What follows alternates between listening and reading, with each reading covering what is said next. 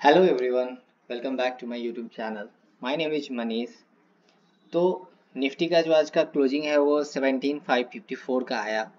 आज गैप के साथ खुलने के बाद भी मार्केट होल डे ट्रेंडिंग रही स्लो एंड स्टेडी प्राइस नीचे ही आते रहा। एंड हम कई दिनों से बात कर रहे थे कि अगर ये प्राइस नीचे की ओर अगर कंटिन्यू होती है देन हम लोग ये डेली में 200 का जो ई e है, इसको टेस्ट होते हुए देख सकते हैं।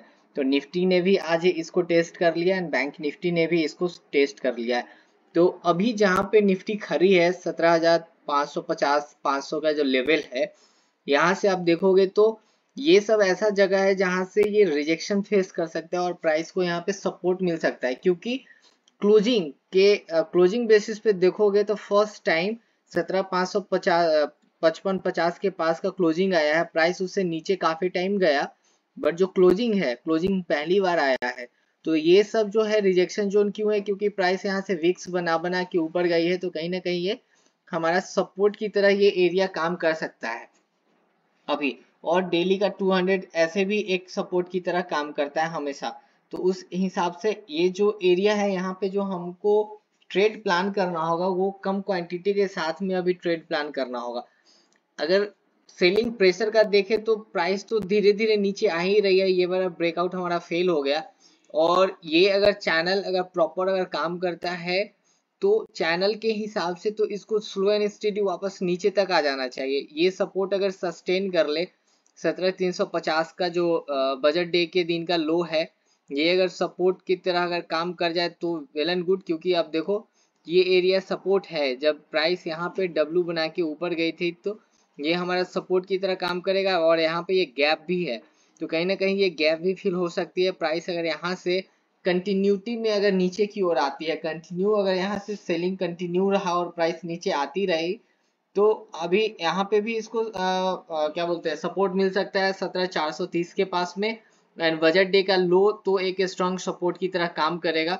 ये अगर बजट डे का लो अगर ब्रेक होता है ना तो हमें एक शार्प एग्रेसिव सेलिंग देखने को मिलेगा।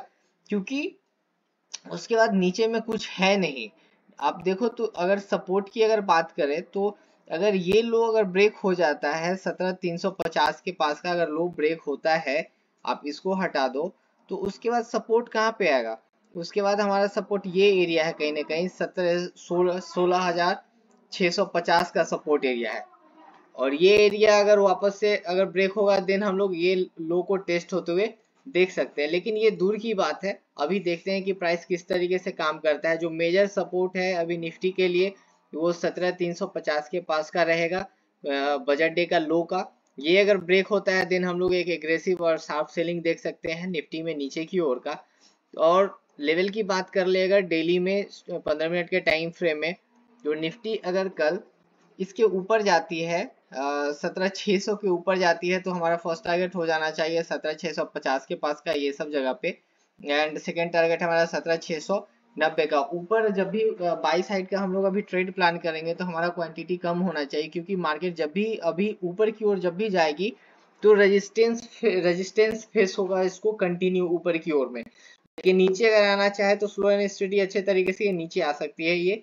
नीचे आने में दिक्कत नहीं है, लेकिन ऊपर जाएगी तो हमेशा इसको रेजिस्टेंस फेस होगा। तो ऊपर का जो ट्रेड होगा बाई साइड का तो उसमें हमारा क्वांटिटी कम होना चाहिए।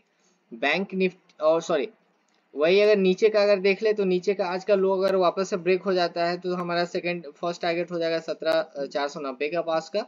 एंड सेकेंड टारगेट हम लोग प्लान कर सकते हैं सत्रह, चार सौ पचास के पास का।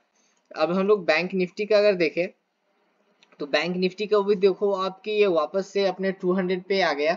एंड ये वाला जो ट्रेन लाइन था जो कोरोना के टाइम से चला रहा है प्राइस ने वहाँ पे अभी सपोर्ट लिया है। मतलब अभी हॉल्ट किया है एक तरीके से बोले तो। और वापस है, ये भी जो पूरा जोन ही एक तरीके से सपोर्ट की तरह यहाँ पे अभी काम करेगा। लेकिन प्राइस अगर ये एरिया में अगर संभल जाते हैं यहाँ पे से तो स्लो एनएसडी हम लोग यहाँ से ऊपर का डायरेक्शन वापस से देख सकते हैं। लेकिन अगर ये एरिया अगर ब्रेक हो जाता है वापस से तो ये एक लंबे टाइम से ट्रेन लाइन चली आ रही है। तो ये ट्रेन लाइन अगर ब्रेक होगा तो वापस से हम लोग नीचे का एक ट्रेंड देख सकते हैं, जो कहीं ना कहीं ये एरिया तक हो सकता है। ये सपोर्ट एरिया के पास तक हो सकता है। Thirty eight four fifty four hundred के पास का हम लोग टारगेट देख सकते हैं आने वाले टाइम में। अगर हमारा ये वाला सपोर्ट अगर ब्रेक हो जाता है थर्टी नाइन फोर हंड्रेड का तो। लेकिन जब तक ये एरिया सब मतलब कि ये सब जब तक ये होल्ड कर रहा है पोजीशन यहाँ पे, तब तक कोई दिक्कत नहीं है प्राइस वापस से इस एरिया को टेस्ट करके एंड ऊपर जा सकती है। तो ये वाला हमारा कंडीशन है। ऊपर जाने में हम लोग अभी थोड़ा सा कॉन्सियस रहेंगे और स्मॉल क्वांटिटी में ट्रेड करेंगे। लेवल्स की बात अगर करें तो बैंक निफ्टी अगर 40,140 के ऊपर अगर निकलती है तो हम लोग बाई जा सकते हैं। हमारा फ़र्स्ट टारगेट हो जाएगा 40,240 का एंड सेकेंड टारगेट हमारा हो जाना चाहिए 40,320 का। वही अगर ये लेवल अगर नीचे की अगर ब्रेक हो जाती है 39,900 का ये अगर लो आज का अगर ब्रेक होता है तो नीचे का हमारा फ़र्स्ट टारगेट हो जाएगा 39,800 एंड सेकेंड टारगेट हमारा हो जाएगा 39,700 का। तो इस तरीके से हम लोग निफ्टी बैंक निफ्टी को कल के लिए प्लान कर सकते हैं। Thank you